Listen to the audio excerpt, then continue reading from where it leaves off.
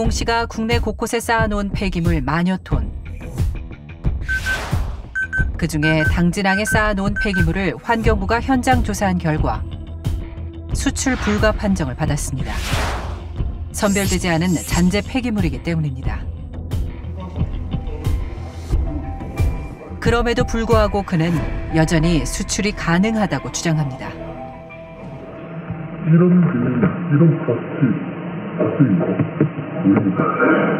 플라스틱 폐 합성 수질이 모든 유를 짬뽕을 다 가지고 있는 거를 기름으로 만들어요. bunker A라는 기름이 나옵니다. 제 차에도 메고 다니면서 나는 2년을 타고 다닌 적도 있습니다. 우리에게 보여준 사진 속 기름이 바로 그 증거라는 것입니다. 베트남에 가면 잔재 폐기물로 유화 사업을 한다는 것. 실제 국내 한 연구팀은 다양한 폐기물을 이용해 기름을 만들어내는 연구를 하고 있습니다. 성과도 있었습니다. 하지만 이 사업은 한계가 있다고 했습니다. 현재로선 정부 보조금 없이 이익을 낼 수 없다는 것입니다. 제가 아무리 계산해봐도 수지 타산이 잘 안 나옵니다. 큰 수익이 안 되니까 정부에 받는 돈이 반드시 있어야 됩니다. 전제는 무조건 다 정부 지원금을 바탕으로 하시는 그렇죠, 그렇죠. 우리나라에서도 민간이 운영하는 유화업체가 있습니다. 이들은 깨끗하게 선별된 비닐류로 기름을 만들어냅니다.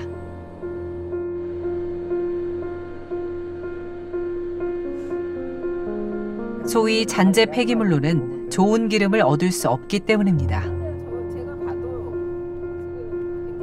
이제 그 이물질이 많이 들어가면 예. 슬러지가 많이 나고 수질을 맞추기가 좀 힘들겠죠. 음. 한발더 나아가 그는 이미 베트남에서 폐기물 수입 허가를 받았다고 주장했습니다. 밀면을 설득시켜가지고 네. 해도 좋다. 그래서 사업 허가를 그 허가를 받았어요. 땅을 이제 12,000평을 들어가놨어요. 공장을 해도 좋다고. 공장 받고 땅을 받은 거예요. 예. 안 그러면 땅을 그 친구들이 함부로 주질 않는 그는 그 증거로 우리에게 베트남에서 받았다는 사업 허가서를 보여줬습니다. 우리는 베트남 현지 변호사에게 해당 허가서의 검증을 맡겼습니다. 변호사의 대답은 명쾌했습니다.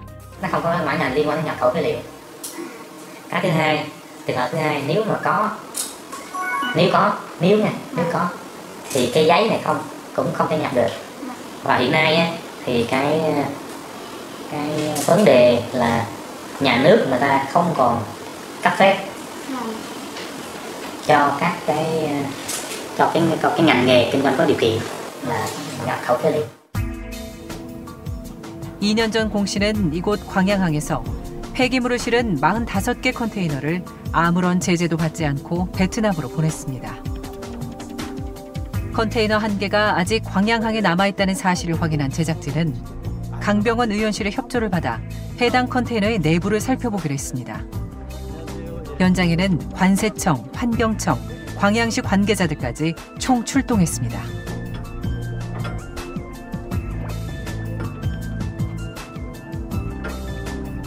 컨테이너 내부에 검은색 덩어리가 가득했습니다.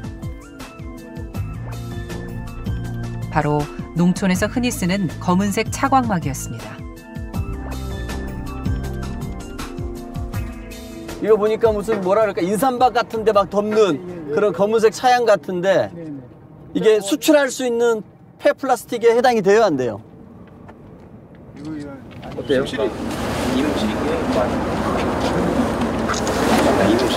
아니 이물질 말고 그냥 그 대상 자체로 수출 대상은 되는 거죠? 네, 대상은 돼요. 수출 대상은 네, 돼요. 대상은 그럼 이걸 가지고 어떻게 그 수출하는데 문제는 없다? 예. 예, 문제는 없어 보입니다. 세척이나 분쇄 과정이 없고 이물질까지 있는데도 수출이 가능하다? 실제 해외로 재활용품을 수출하는 업체 측에 컨테이너 내부 영상을 보여줬습니다. 제가 봤을 땐 쓰레기로밖에 안 보여요. 완전 쓰레기다. 네. 이건 장기간 야적이 돼 있던 거예요. 보니까 제가 봤을 때는. 저는 이해가 안 돼요. 이게 수출이 나가는 게. 업자가, 업자가 문제가 있지 않나 생각이 들어요. 수출 내보낸다는 것 자체가 저는 프레시를 한번 줘보세요. 한번 한번 올라오시고.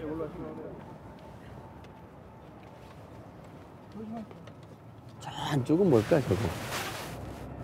저 안쪽은 뭔가 좀 이상스러운 게 있는 것 같네, 그렇죠? 예, 한번 보세요. 저 안쪽에 한 절반 정도는 좀 이것과는 다른 걸로 채워져 있는 것 같아요.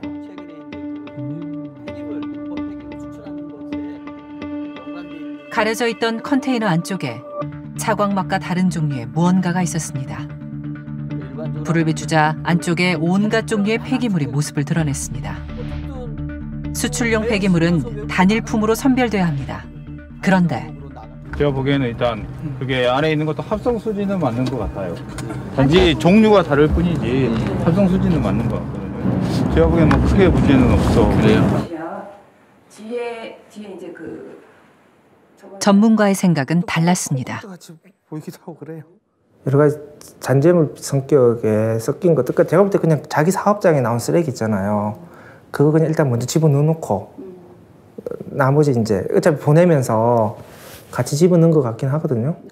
그러면 이 부분에 대해서 이게 뭐냐, 이게 재활용 목적인 거냐, 뭐 이런 걸 좀 따져서야 될 텐데 그럼 환경청 입장에서는 어 그냥 덮는 게 편한 거죠. 당시 환경청 관계자는 왜 수출이 가능하다고 단언했던 걸까?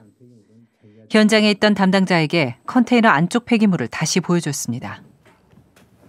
이게 지금 이렇게 가까이 클로즈 하신 부분을 보면은 이게 합성 수지 종류는 맞는 것 같은데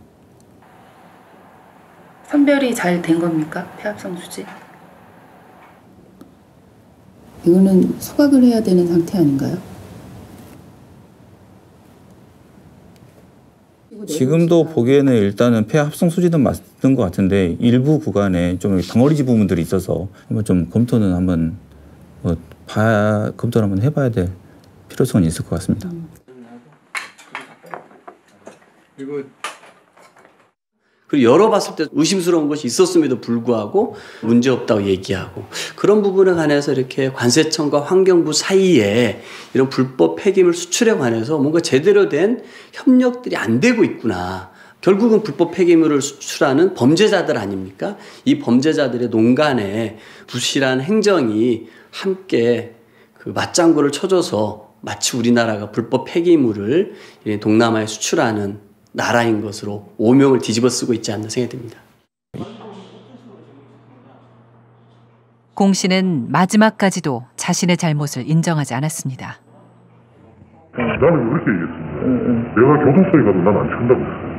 얘는 영웅이라 그 예쁘냐고 얘기 나놓고 내 수사도 안 해주노. 그러면 지금까지 수천 건에 대한 수출했는 건에 대한 건 어떻게 처리할 것입니까? 여기가 제가 관문이에요. 왜 그럼 끝까지 가죠?